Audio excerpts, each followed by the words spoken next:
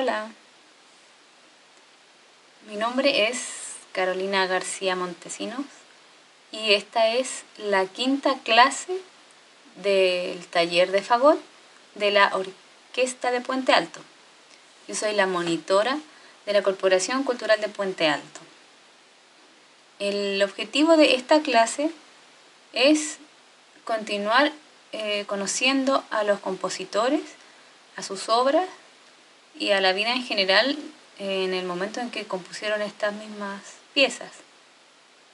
Eh, seguimos conociendo a los compositores de, la, de lo que se está interpretando en este caso en la Orquesta Juvenil de Puente Alto.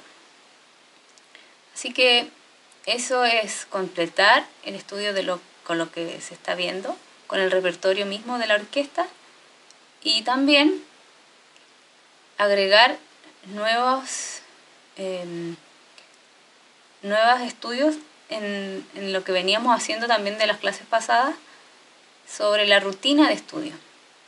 Entonces vamos a ir agregando siempre más ejercicios para que ustedes completen finalmente una rutina y hagan algo al, lo más adecuado para cada uno.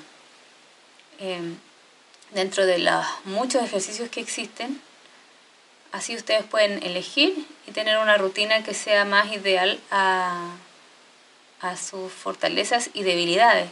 Y así cada uno tener una rutina personalizada y efectiva para cada vez que tengan que estudiar. Entonces, comenzando con, con el, siguiendo con el hilo que dejamos la clase pasada sobre los compositores, vamos a pasar ahora al segundo compositor, que es Oscar Lorenzo Fernández. Ese compositor, ¿qué sabemos de él?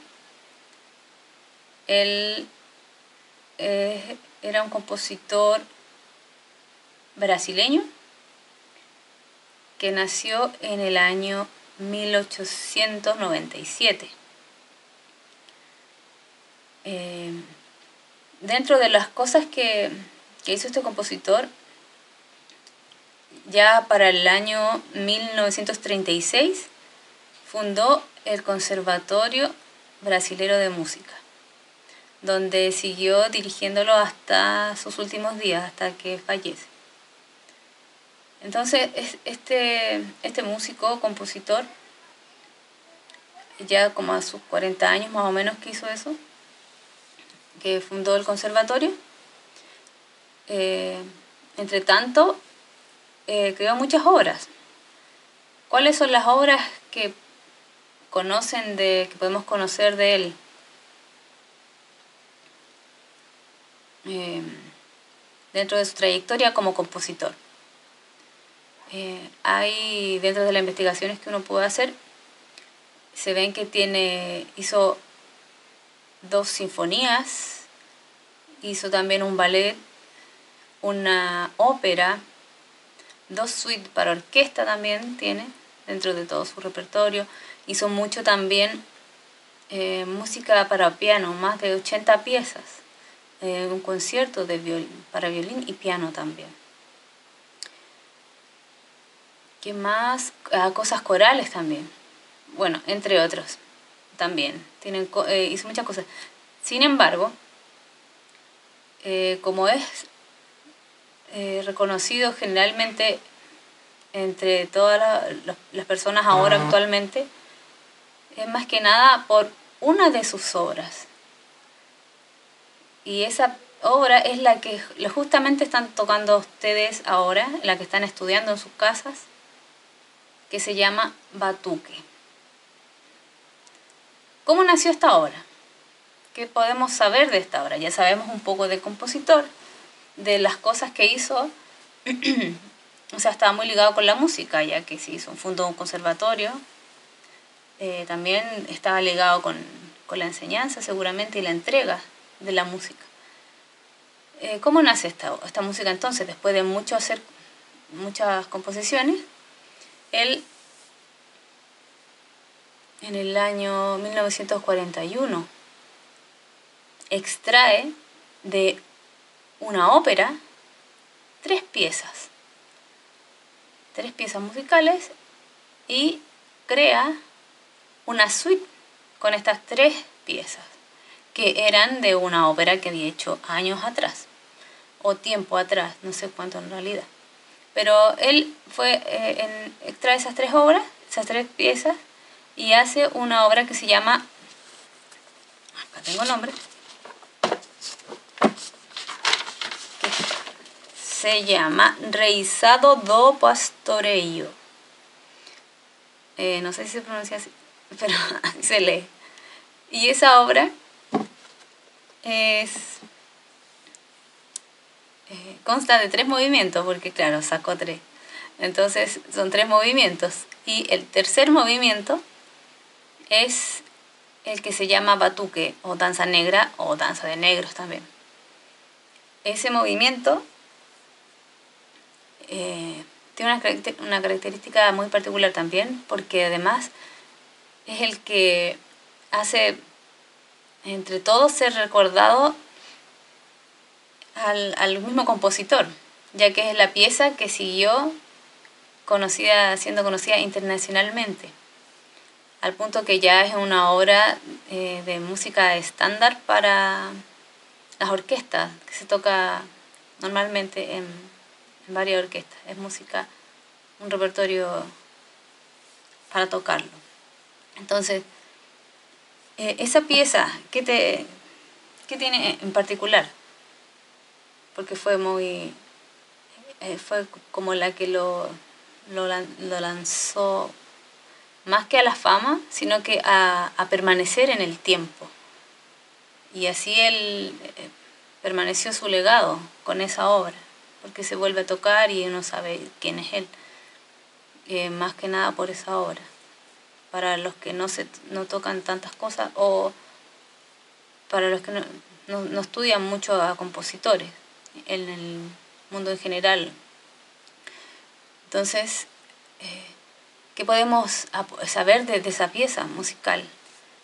Eh, bueno, después de que fue creada de estos tres movimientos, también eh, se puede inferir de, qué, de dónde viene ese, su nombre.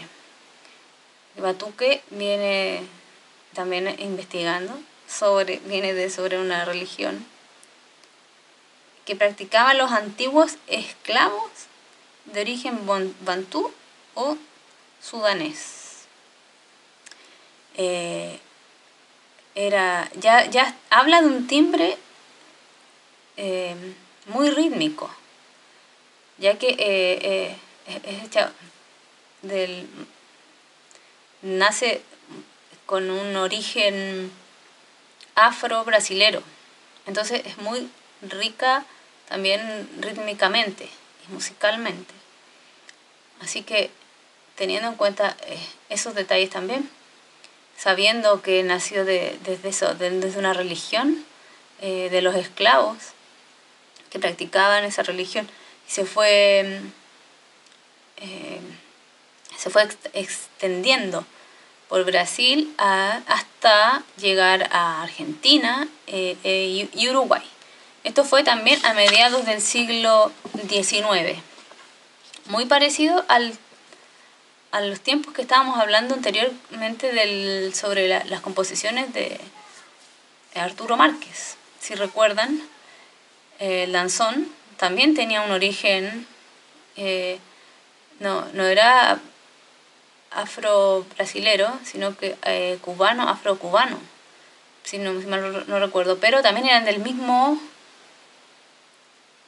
del mismo siglo, en el tiempo estaban más o menos muy parejos. Entonces, esta, esta melodía también es muy similar eh, en sentido de eh, rítmicamente y más que en el sentido de la de la cómo decirlo así como de la onda que tiene en el, en el fondo como para conectarse con el tipo de música que se está interpretando si bien se sabe que es muy rítmica, porque viene también de las raíces. Entonces uno puede eh, saber que tiene que eh, reforzar los ritmos, estudiar muy parejo los ritmos y muy acentuados también.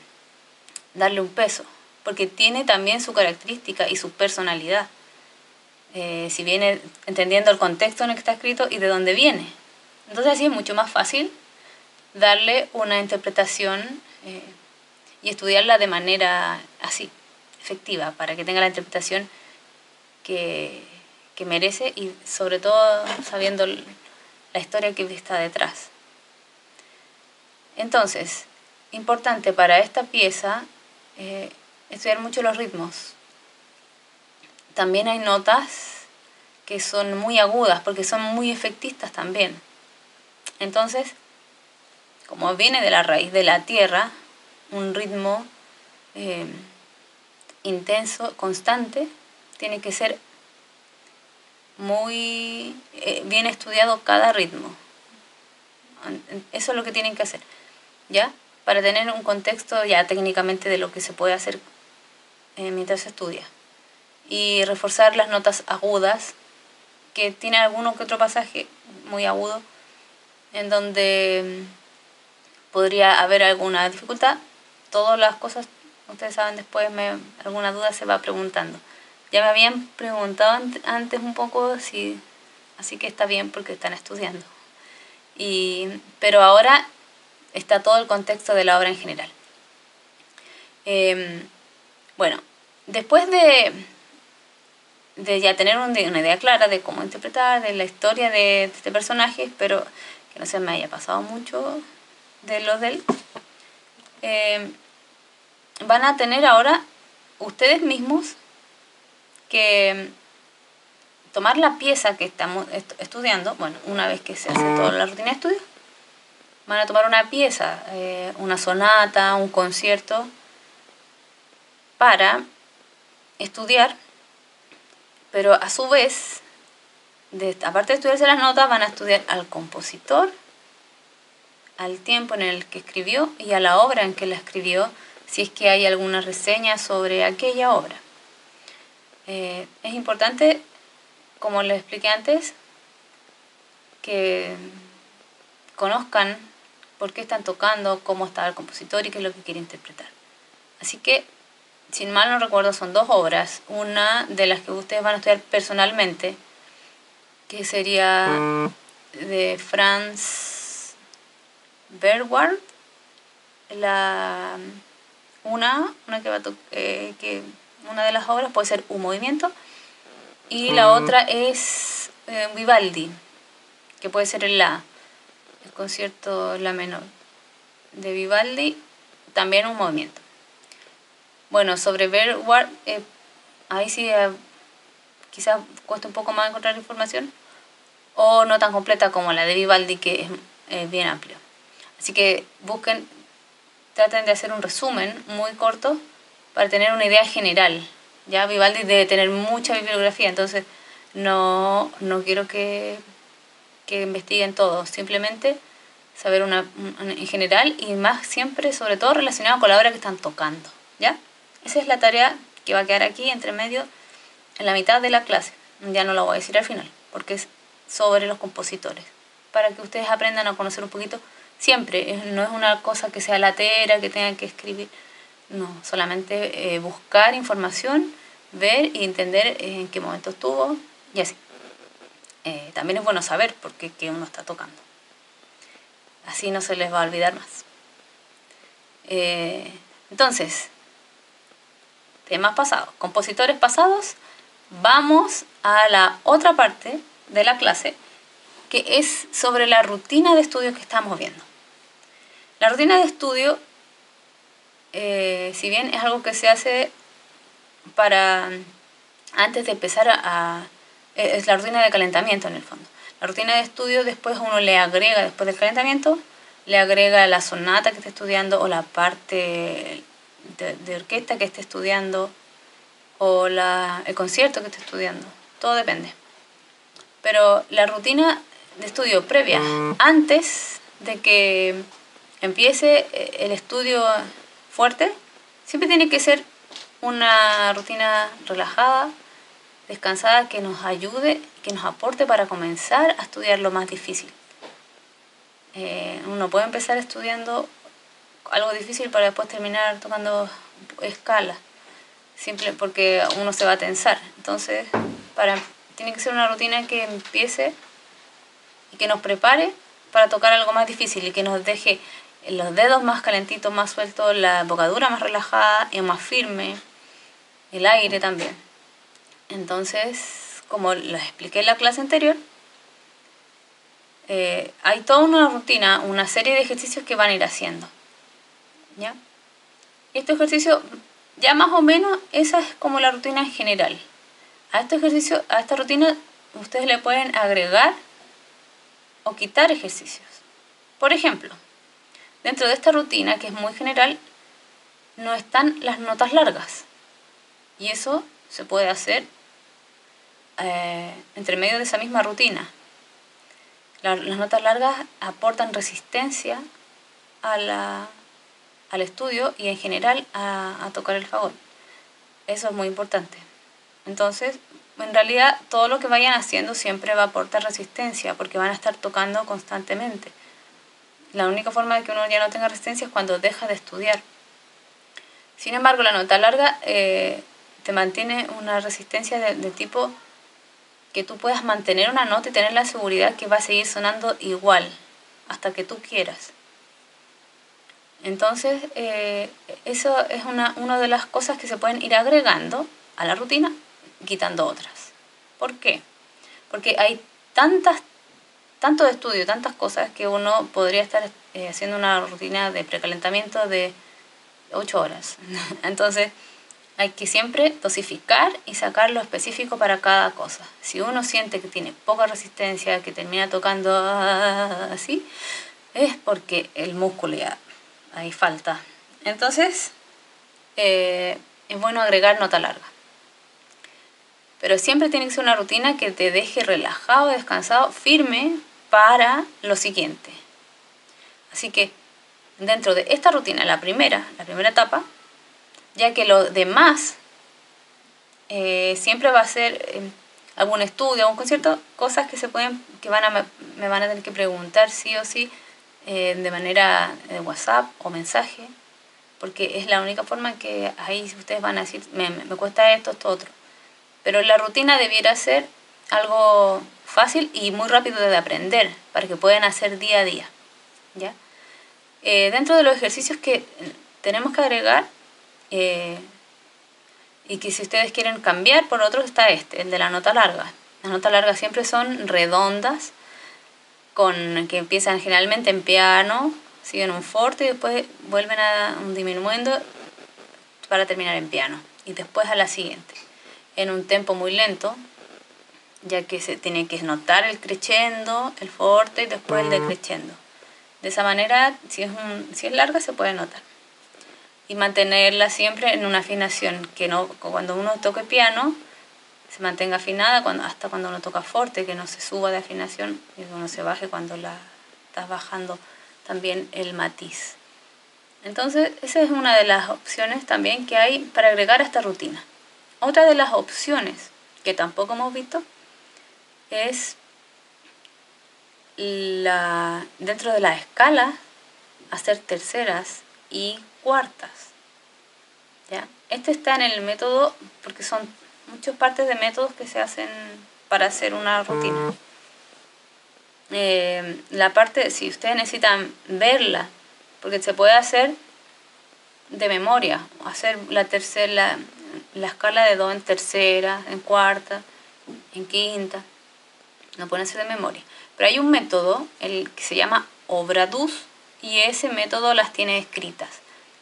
Entonces, voy a hacer un ejemplo, pero tengo que hacerlo hacia este lado para que el sonido salga para allá, porque la clase pasada, o una de las clases, el sonido tuvo un problema, el sonido, eh, no sé si fue la, la cámara se subió de, manera que sonó, eh, el sonido del, del instrumento no, no funcionaba. Así que ahora voy a hacer el sonido para allá para ver si sale bien esta vez el video completo con el sonido lo más fiel posible. Entonces, eh, el ejemplo de la, de la otra, del otro ejercicio que podemos eh, adquirir que podemos adherir a nuestra rutina es este, el de las terceras eh, y cuartas. Son siempre distintas, o sea, pueden ser muchas más, pero en este caso vamos a ir así, agregando para que ustedes saquen o agreguen otro. ¿ya? Entonces, el ejemplo lo voy a dar acá como les contaba, porque lamentablemente son raro. Entonces, es así.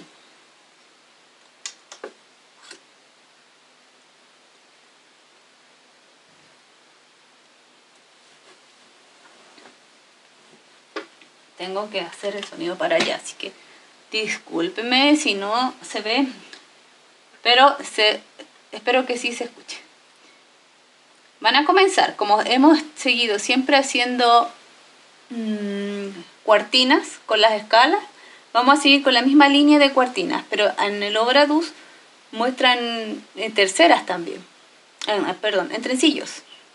Así que pueden elegir tresillos si quieren o cuartinas. Yo voy a hacer cuartinas ahora para que escuchen el ejemplo con terceras y cuartas.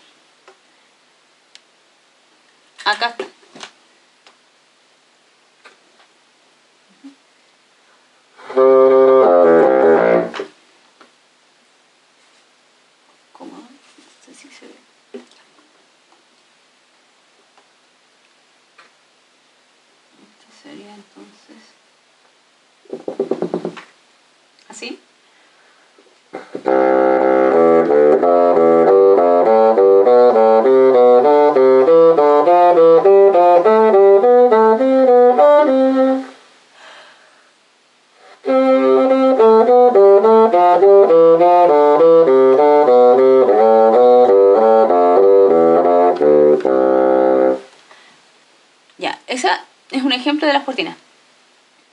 Terceras.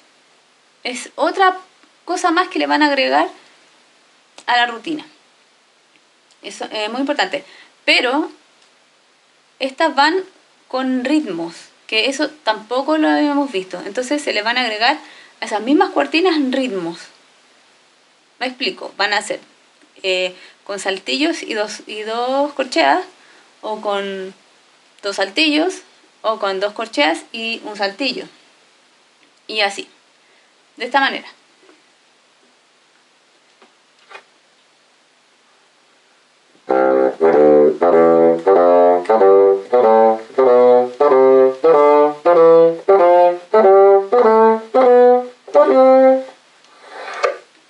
Ese es con dos saltillos. También lo pueden hacer así.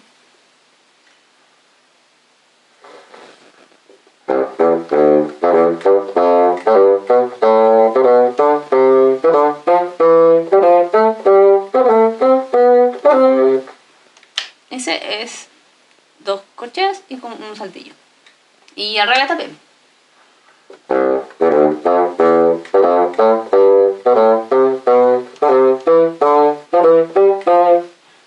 Es así. Esos serían los ritmos que le van a agregar ahora al, a las cuartinas de, tres, eh, de terceras. ¿Ya? También, eh, si lo hacemos con cuartas, por ejemplo, eh, esta es una escala de, Do. Se van a hacer también con articulaciones, que eso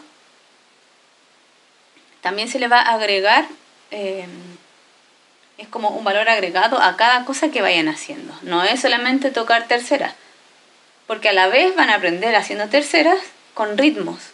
Entonces es mucho mejor agregar un ritmo para preocuparse del ritmo más que de la tercera o la cuarta. ¿Cuál es? porque así van a, a integrar las dos cosas. Entonces, si hacemos con articulaciones, ahora las cuartas, podrían ser dos ligadas y dos sueltas, dos ligadas eh, las dos mismas. En este caso, mejor el ejemplo. Por ejemplo, eh, dos ligadas y dos sueltas, así.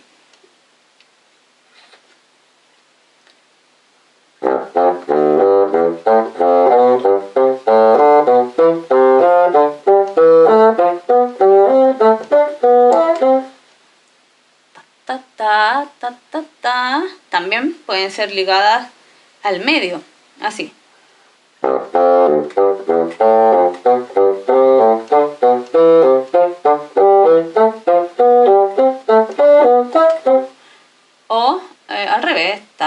Ta ta ta, ta o ta ta ta, juntas también.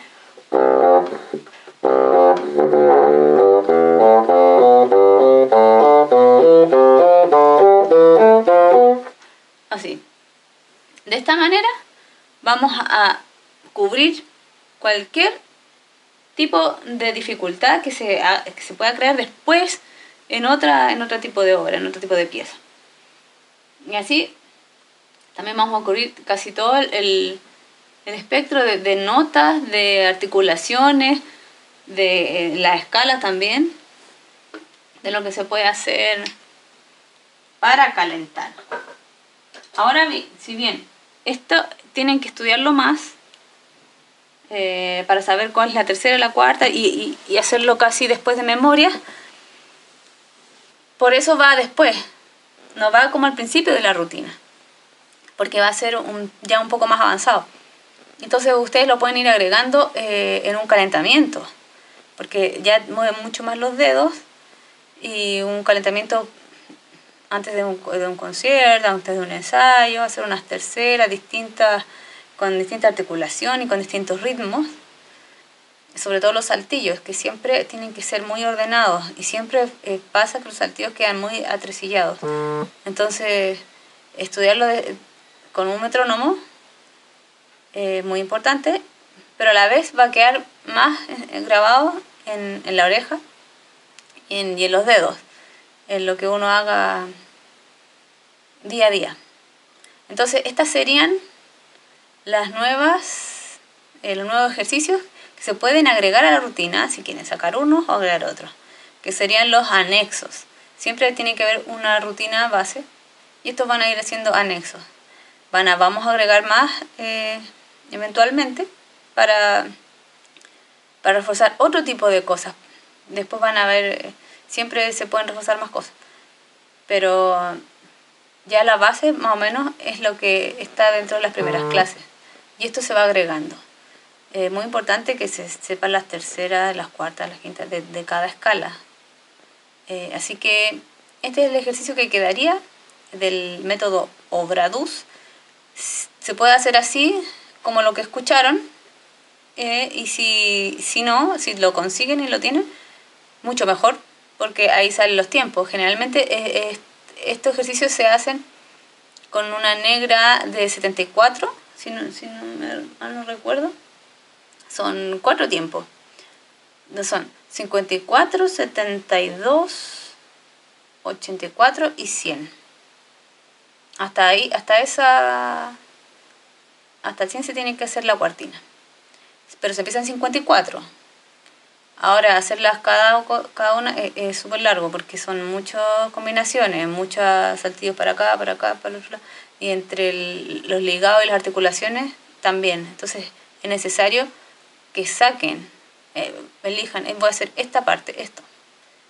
Y, lo agregan a su rutina como parte personal, porque es súper larga. Si no, el, con ese método Gradus uno también se puede estudiar mucho y, salir, hacer muchas cosas. Pero si bien es cierto, es súper larga porque se repiten y son muchas combinaciones las que hace. Entonces, finalmente uno termina eh, o estudia eso solo y nada más, o, o, la, o le integra algún ejercicio a su rutina, que es lo ideal, porque así cada uno tiene, como les decía, su rutina personalizada. ¿Ya? Así que eh, recuerden estos dos eh, nuevos ejercicios que son terceras, agregar terceras y cuartas con ritmos y con articulaciones. ¿Ya?